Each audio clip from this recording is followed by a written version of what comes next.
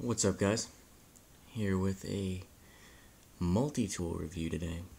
It is the Leatherman Style CS.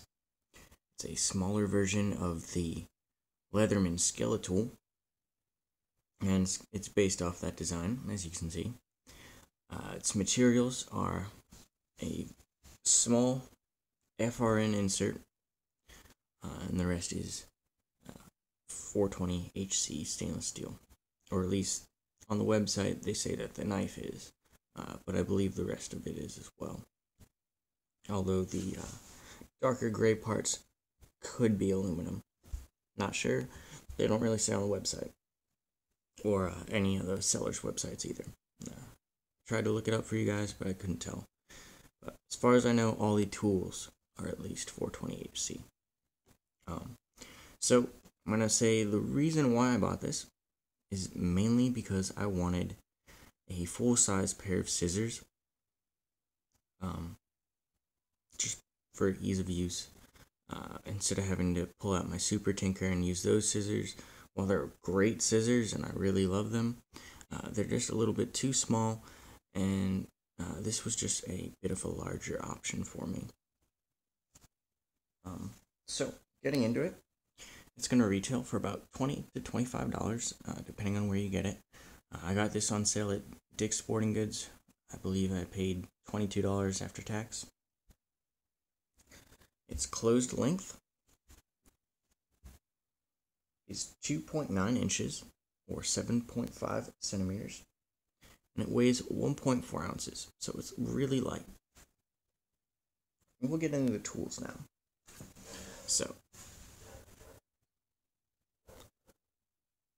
First thing is this carabiner, uh, which doubles as a bottle opener. Sorry, my dog's barking out there and trying to make this. but, so, you can see it's a bottle opener, which fits very nicely in the hand. Very nice. It also has a small lanyard hole up here.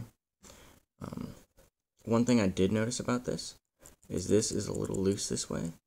Uh, I don't know with with time that'll be a problem, uh, but it is one thing I've noticed, uh, just so you guys know. So, we'll get into this blade right here, uh, which is alright for a blade. It's again, as I said, it's 420 HC. It's 1.6 inches. Uh, it's got a kind of a satin finish, um, but didn't come that sharp. I had to sharpen it a bit, and uh, fuck. Sorry, I'm trying to think of what I'm saying. Um, it's only cut on that side. I, I can't think of the term right now, and it's gonna bug me. But there's no cutting edge on that side. If that makes sense. It's just on this side. Uh, which is kind of not really functional, I guess. Um, I don't know why they did it. I mean, it's not like you're accidentally gonna hit this side of the blade at all. Um, you can't one-handed open it. And I kind of would like the nail nick to be a bit further up. Um, maybe more like right here. It works all right. Um, but it is a super useful little blade. There is a bit of blade play though. Um, obviously not up and down. It's a slip joint. All the tools are slip joint non-locking uh, but there is a bit of side to side blade play. Uh, none if you go like that though, if you try and pull on it. But next tool, right here, is a very nice locking up pair of tweezers.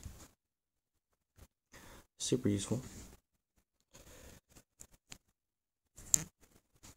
Next tool, you've got a nail file sorry, Got a nail file, which has a small nail nick on the other side, which I don't really get. I don't get what that's for. It doesn't help at all.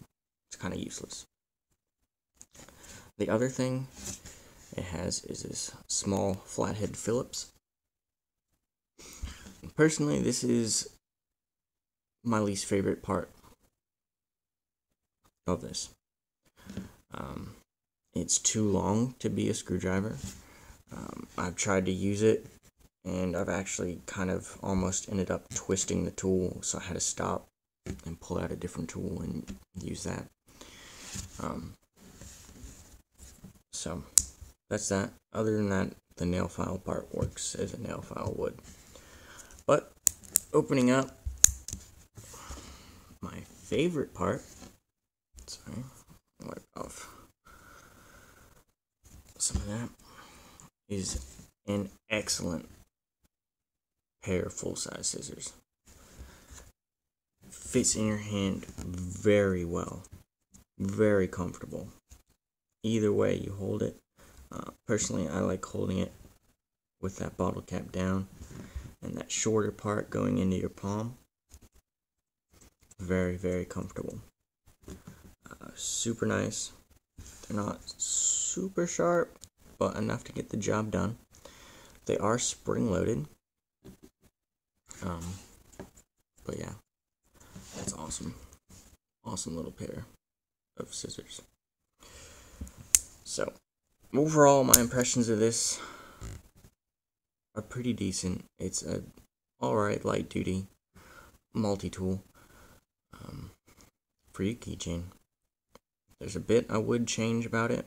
Um, like I said, that nail file is much too long probably have it stop like maybe right there uh, just because there, when you put so much torque on it it just it starts to bend um, and I would change the blade style so it was sharp on both sides it's really gonna bug me that I can't remember what that term is right now but um, lastly the other thing I have noticed is that it can collect quite a lot of dust.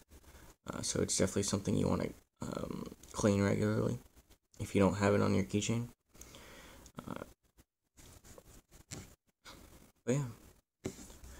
Oh, and one other thing I would change is I really don't like the placement of the Leatherman Style CS part. Um, I just feel like it'd go better on the back maybe, where there's more room. I feel like it's super small right there. Uh, either that or I would like them to keep it there but change if it makes sense to you. Um, these two grips right here, or not grips, but little inserts, um, they have enough Leatherman branding on it. I mean, you've got Leatherman, right there. You've got it right there. You've got it in here on the scissors. Both sides, I think. Yeah, both sides.